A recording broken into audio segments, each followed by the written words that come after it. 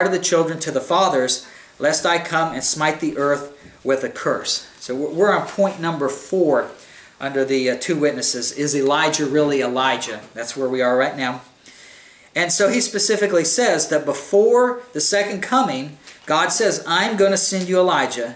And the purpose is turning the heart of the fathers to the children, the heart of the children to the fathers, uh, lest I come and smite the earth with the curse. In other words, basically what it's saying is that Elijah is going to come and his duty is to build up a believing remnant so that they may be saved and rather, be, rather than being cursed uh, with the earth and passing away and going in the lake of fire, they are going to come into the kingdom. So God promises here he will send Elijah. So that's your fill in the blank there. That Malachi 4 verses 5 through 6 says, God will send Elijah before Jesus' second coming. So that's a pretty strong argument that Elijah will be one of the two witnesses. Now if we go over to Matthew chapter 11, uh, when Jesus was on earth, he specifically talks about Elijah a couple of times. Israel, even though they were apostate, they knew the Old Testament and they knew that prophecy there in Malachi chapter 4 that Elijah would come before the before the second coming there of Christ. John the Baptist and Jesus are both saying that the kingdom of heaven is at hand. So if they're saying it's at hand, it's about time for the kingdom to be brought in. And Elijah's, you know, in other words, the time of Elijah's coming is got to be at hand as well. So in Matthew 11, there's this question. Uh, John the Baptist is beheaded. And uh, in verse 13, we're told there, um, Matthew 11, verse 13, this is the Lord Jesus Christ speaking to the disciples. And he says, For all the prophets and the law prophesied until John, meaning John the Baptist. Now notice what he says in verse 14. And if ye will receive it, this is Elias or Elijah, which was for to come. He that hath ears to hear, let him hear.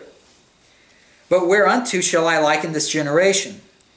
It is like unto children sitting in the markets and calling unto their fellows, and saying, We have piped unto you, and ye have not danced. We have mourned unto you, and ye have not lamented. For John came neither eating nor drinking, and they say, He hath the devil. The Son of Man came eating and drinking, and they said, Behold, a man gluttonous and a winebibber, a friend of publicans and sinners, but wisdom is justified of her children. So you're filling the blank there is that Matthew 11 says that if Israel would hear, John the Baptist was Elijah. So Malachi 4 says Elijah is going to come before the second coming of Christ.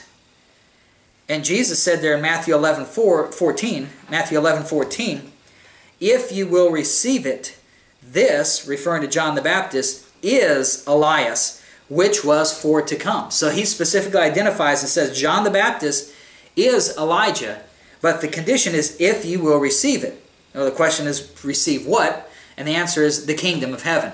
If they are willing to believe the gospel of the kingdom, repent and be baptized for the remission of sins, then Jesus says, John the Baptist, he is the fulfillment of Malachi chapter 4, which tells you that even though Malachi 4 says Elijah will come before the second coming of Christ, according to Matthew 11, Elijah, physically the guy who was back in 1st and 2nd Kings, doesn't have to be it doesn't have to be him to fulfill this verse.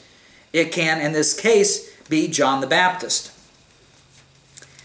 If we go over to Matthew chapter 17,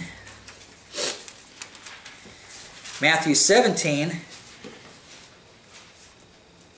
starting in verse 9, the disciples bring up the question of Elijah coming, the prophecy in Malachi chapter 4. This is after the transfiguration. We read that earlier about how they saw Elijah and Moses, Moses there on the temple, on the mount with Jesus. And so they're thinking about Elijah. They're thinking about that prophecy.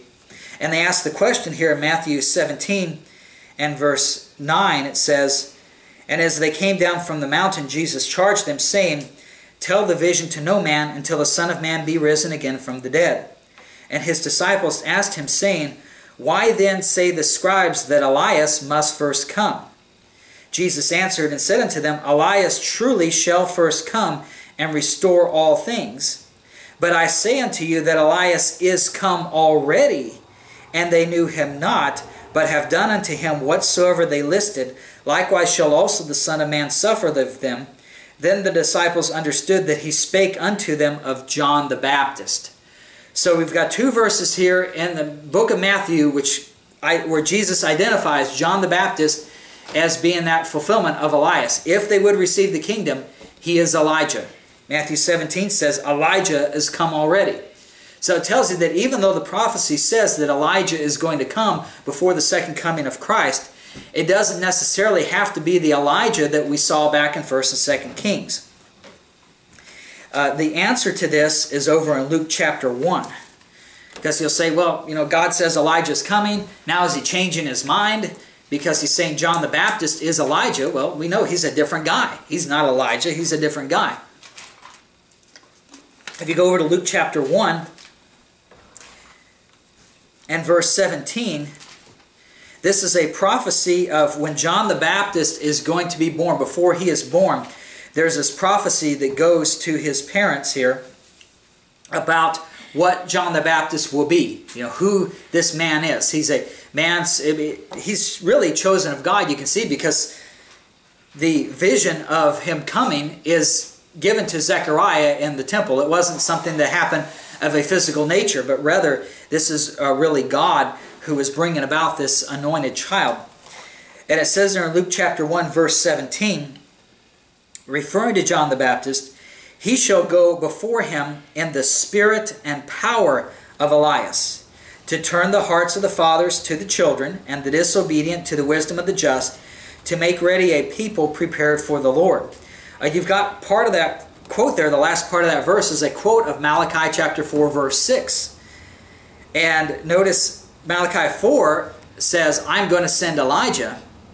This here says that John the Baptist is going in the spirit and power of Elijah. So you're filling the blank there is that Luke 1.17 says John the Baptist came in the spirit and power of Elijah. He came in the spirit and power of Elijah.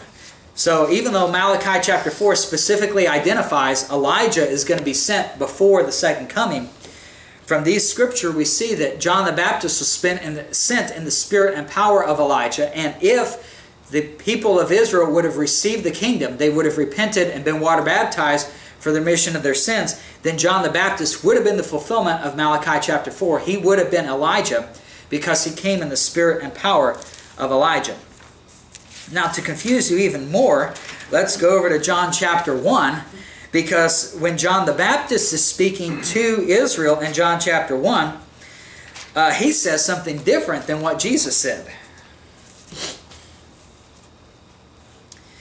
In John chapter 1, starting in verse 19, John the Baptist out in the wilderness preaching the gospel of the kingdom, and the Pharisees come out there to meet him. It says there in John 1.19, This is the record of John, when the Jews sent priests and Levites from Jerusalem to ask him, Who art thou?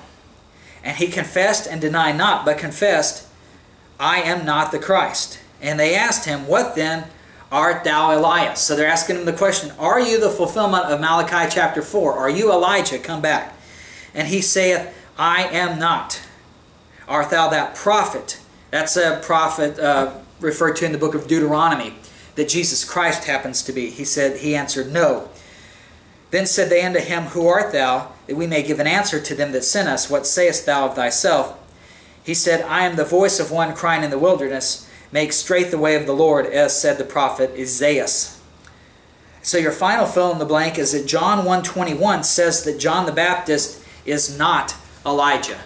He is not Elijah. So basically, to put it all together, you've got the prophecy in Malachi 4 saying Elijah would come before the second coming. Jesus says John the Baptist would have been Elijah if they accepted the kingdom, but because they didn't, that prophecy has not been fulfilled and Elijah's coming is still future. So, what I would say in, in closing, in conclusion, so who are the two witnesses? If it has to be people who are in Scripture, your strongest argument is Elijah and Moses, just because the things that the two witnesses do in Revelation 11 are similar to what Elijah and Moses did on earth. But it seems to indicate that really Elijah and Moses will not come back, that it will probably be people who come in the spirit and power of them. That's what Jesus said John the Baptist would have been, fulfilling that prophecy. And so I think it's very likely that the two witnesses are people that we don't know. They will come in the spirit and power of Elijah and Moses because they'll do things that Elijah and Moses did. But they won't actually be Elijah and Moses who lived in the Old Testament. And the reason I say that also is, uh, you know, think of think of Elijah and Moses. And in fact, let's go. We'll we'll close with uh, Hebrews chapter eleven. Look at this passage. If you try to put yourself in the shoes of Moses and Elijah, or any Old Testament saint, anybody who has had faith in God, um, anybody, according to 2 Timothy 3.12, those who will live godly shall suffer persecution. And we see here in Hebrews 11 uh, that the people who did have faith in God in the Old Testament did receive persecution. Uh, look in verse 36. Uh, Hebrews 11 and verse 36 referred to these people of faith. It said, Others had trial of cruel mockings, scourgings, yea, moreover, of bonds and imprisonment. They were stoned, they were sawn asunder, were tempted, were slain with the sword. They wandered about in sheepskins and goatskins, being destitute, afflicted, tormented, of whom the world was not worthy. They wandered in deserts and in mountains and in dens and caves of the earth. Uh, that's what Mo Moses spent 40 years bringing 2 million people through the wilderness who were completely in unbelief as far as believing God. He had to deal with a bunch of, they called them the children of Israel, two million people who did not believe God. Moses had a lot of tough times with those Israelites. Elijah, the same thing. He was going against the prophets of Baal. He felt like he was the only one standing up. All of them had a very troubled time in the earth because they trusted in God. Both of them have been have already received their reward. They've been in the New Jerusalem since Jesus' resurrection 2,000 years ago. Um, they've already received their reward. They're gone on. The world was not worthy of them, according to Hebrews 11.38. So picture you are Elijah or Moses and think about that. You've been, you've gone through a terrible time on earth. Now you're, you're in paradise with God. Everything's been great for the last 2,000 years. And then God comes over to you and says, I got one more job for you to do. Go back down to those people on earth. They're going to try to kill you and they're going to try to get rid of you. And But you're going to try to save them. Elijah and Moses, they've already got their reward. They've already received their rest. They don't want to go back to earth. Why would they want to do that? I think that God is going to raise up two new people um, because Elijah and Moses have already suffered enough as we read their accounts in the Old Testament. So my opinion, and again, this is my opinion, he could send Elijah and Moses if he wanted to. But in my opinion, um, God is going to send, the two witnesses are going to be two people who, they will be physical Jews who aren't in the Bible, and they're just going to be people who believe, they're called by God, and they stand there and they're going to be in the spirit and power of Elijah and Moses there in front of the temple. So uh, with that, let's close with a word of prayer. Uh, dear Lord, I thank you for your word. I thank you for your grace that even in these times, the tribulation, that you would send to people who would build up that believing remnant.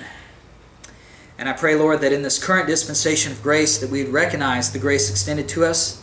We would trust in the blood of your Son as atonement for our sins, so that we may have eternal life. And then we go on from there, continuing to trust in his shed blood, so that we we may walk in the Spirit. We thank you for that in Jesus' name. Amen. Yeah, who, who would want to go from, well, I mean, Jesus